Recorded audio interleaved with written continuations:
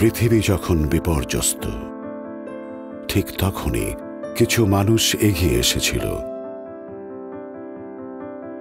বুকে অসীম সাহস নিয়ে অকুত ভয় তারা, তারাই নীরব যোদ্ধা।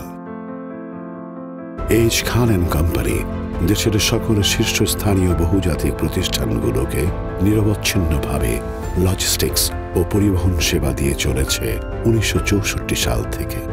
আর এই নিরবচ্ছিন্ন সেবা পৌঁছে দিতে সবসময় বিশেষ অবদান রেখে চলেছে কোম্পানিতে কর্মরত ড্রাইভার ভাইয়েরা। তাদেরই একজন গোপাল ভাই। নীরব যোদ্ধার চতুর্থ অধ্যায়ে আমরা জানব তারই পথ চলার গল্প। ঘুমের রাজ্যে বিভোর, গোপাল ভাইয়ের দিনের শুরুটা হয় ঠিক তখনই। সময় মতো অফিসে পৌঁছানোর পর মানা হয় কঠোর স্বাস্থ্যবিধি। অপারেশনস ডিপার্টমেন্ট গোপাল ভাইকে তার দিনের ট্রিপগুলোর ব্যাপারে অবগত করেন।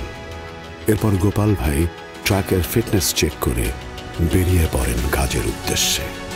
পৃথিবী যখন মহামারী করোনার আঘাতে স্তব্ধ, গোপাল ভাই ও তার সহযোগী যোদ্ধারা তখনও কাজ করে গেছেন নিষ্ঠা ও একাগ্রতার সাথে।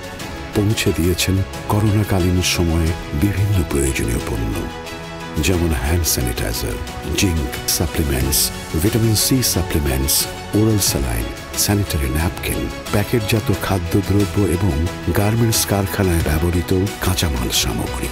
কখনো বা হাসপাতালে অসুস্থ রোগীর জন্য ছুটে গিয়েছেন অক্সিজেন সিলিন্ডার ও চিকিৎসা সামগ্রী নিয়ে। তাদের সেবা দেশের অর্থনীতিতেও উল্লেখযোগ্য ভূমিকা রেখে চলেছে। তারা পৌঁছে দিয়েছেন কৃষক ভাইদের মুখে হাসি ফোটানো সার ও বীজ।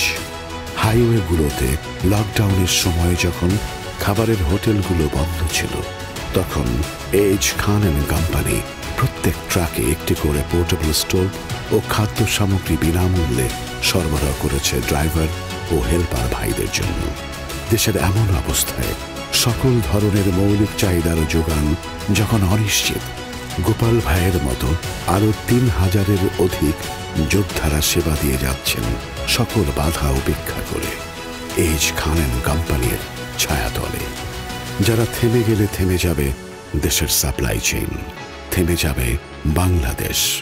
আর তাই নিরবচ্ছিন্ন সেবা দিয়ে যাওয়ার লক্ষ্যকে সামনে রেখে এমন হাজারো নীরব যোদ্ধাদের সাথে নিয়ে দেশ ও মানবতার সেবায় সর্বদা কাজ করে যাবে।